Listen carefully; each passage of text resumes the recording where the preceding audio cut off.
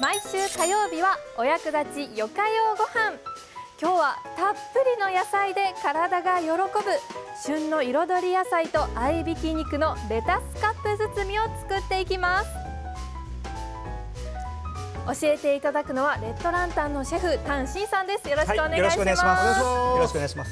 タンさんねさっきねずっとね、ええ。キノコ見ててね。き夢中でしたよね。キノコねお美一緒やって味しそうだなと、ねはそうでも料理目ね線でね。キノコ夢中だったんです。でも今日はね、はいキノコねはい。はい椎茸登場しますからね。はい。今日の今月のメッセージテーマは長崎の旬を食べようメです。ッセージテーマ今月のテーマですね。メッセージじゃないで。すねテーマが長崎の旬を食べようです、はい。今日ねいろんな具材登場しますが。ね。もう野菜は長崎の食材で、はいお揃えてます。そうなんですね、はい。で今日の旬といえば何でしょうか？レタスですね。レはい。タス。あのね野菜結構高いんですけどレタスは今安定してるので、はい。あのもりもり。はい。食べれますねたくさん、はい。うわ長崎のものいっぱいで嬉しいですね、はい。そして今日の試食もきよさんです。どうも長崎提供ジャンポンです。このレタスカップ包みっていうのがね、はい。どんな料理なのかっていうちょっとイメージがわかんないのでちょっと楽しみですね。そうですね、はい。それでは早速じゃあ作っていきましょう、はい。まずはレタスの準備から。そうですね、はい。レタスこれ丸ごと1個ありますけども、まずあのカップにするために芯を抜きます、はい。で芯ここにあるんですけど、はいはい。まあ親指だったり。え？はい。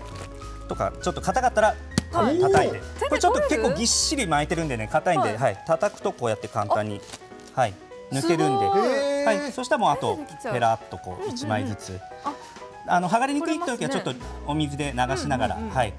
えー、剥がすと剥がれやすくなります。簡単にね取れるんですね、はい、でこのカップをちょっとあのハサミで切ってあげるとこのように、はい。カップ状になるんで、はい。準備しているのがこちらはい。です、切ったやつはあの炒めたりサラダにしたりスープにしたり使えますので、はい。捨てないでください。はい。はい。そしてこのレタスによかよポイントがあるんです、はい。レタスはカップは一度冷蔵庫で冷やす、はい、冷やすことによってあのシャキッと、はい、よりより美味しくなりますんで、えーはい。どのぐらい入れてたらいいんでしょう？もうすぐもう10分とかでも大丈夫です。はいうんはい。あのおーー仕込んで、はい。食べる前にですね、はい。冷蔵庫ではい。寝かしておいてください、はい。それでは材料の方も炒めていきましょうか、はい、はい。ちょっとあのパプリカなんかもこれも、あのヘタの部分は押せば、はい、もう取れるんで、あと2等分にするとすぐもう種とかも取れるんで、はい、えー簡単です。はいありがとうございます、はい、あとは、えー、じゃがいも、パプリカ、きゅうり、きゅうり。はい、椎茸ですはい。ね。椎茸は軸の部分も使ってます。あのへた、えー、石突きがちょっと硬いんで、はい、使わないですね。はい。はい、あとネギ、生姜、はい、今日は合いびき肉です。はい。はい、それではまずは合いびき肉から。はい。はい。はい、えー、熱したフライパンに合いびき肉を炒めていきます。はい。今回油は引いてないです。はい、そこも今日のよかはい。よポイントなんですね、はい。テフロン加工のフライパンだと油は使わない。そうですね。結構あのもうひき肉から油が結構出るので、油っぽくなるのでもう使わないで大丈夫です。はい。え鉄鍋とかの場合だはい。とちょっと引いた方が、はい、くっつかないでいいかと思います。ー、なるほどなるほど、しっかりねここしっかりも炒めていくんですね、しっかりはい。でちょっと塩コショウしていきます。はい。お肉は、はい。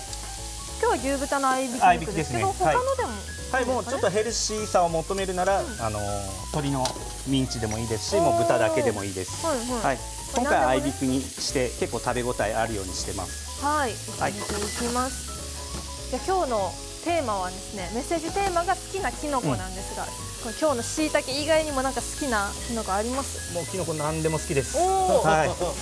もうどんな料理にも結構もう煮込んだり、うん。天ぷらにしたり、うん。はい、鍋にしたりですね。はい。もう何でも美味しいですからね。ねはい。確かに確かに。はい。はいでだんだんはい肉が炒まってきたら、えー、次ははい塩コショウし塩コショウしましたね。ははいい。はい生姜入れます。はい。おーみじん切りにしたものを結構たっぷりはい。今新生姜もあるんでね、はいたっぷりはい使っていきます。たっぷり加えてはい。でもう香りが出てきましたね。はい、はい。美味しそうな香りしてきました、はいそしたら具材あの、野菜炒めていきまはい、すね。A のはい具材を、じゃがいもです。まずはじゃがいも、はいそしてで椎茸入れます。はいはい。できゅうり。おきゅうりなんですねちゃんきゅうりねあのサラダしかしないって言うけどきゅうりね炒めたらすごい美味しいんですよ。えー、やったことなかはい。った、スープにしても美味しいし、はいはいはいこうやって炒めるとね火を通すとすごく美味しいです。またこう食感がいいですね、はいきゅうりが入るとでパプリカです。はいパプリカも入れてくださいこれで具材を炒めていきます、綺麗ですいやーいいね。彩りが、ね、だから今日はもうお肉だけじゃなくていろんなね野菜いろんな食感を加えても、うん。口の中がもうすごい賑やかになるように、うん。はい。いろんなまた栄養もねいっぱい取れますね、はい。い、いですね。はい。で調味料入れます。はい、B の調味料入れていきます。まずはお酒、はい。砂糖。お砂糖、はい。醤油。醤油、そして。でオイスターソース。オイスターソース、で甜麺醤です。はい、甜麺醤、はい、甜麺醤。甜麺醤ね今あのスーパーとかでも手軽に買えます、安くで買えますけどもしないなっていう時は全然お味噌で大丈夫です。おお、はいお味噌にちょっとあのもうちょっとおお醤油お砂糖を加えたらはい、辛さがちょっとなくなるんですね。そうですね。はい。はい、しっかり炒めてくださはい。お、じゃがいももね、あのみじん切りなのですぐ火が通りますね。そうそうそうそう。はい。ちょっとシャキッとして、うん。はいあー綺麗。おー。いい香りがしますね。また伝えたいこの香りをね画面の皆さんにもちょっと伝えたいねぐらいいい香り、で今回レタスカップにしたのはね、はいはい。結構子供たちまあ大人でもそうですけど、手でね食べるってなんか楽しいですよね、そうですね、はい。もちろんこういうパーティーとかにもね、はい。い、いかなと思います。食物繊維も豊富で、もう無限に食べれます。おお、はい。でも火が入ってきたので最後ははいい、仕上げにネギと、はい、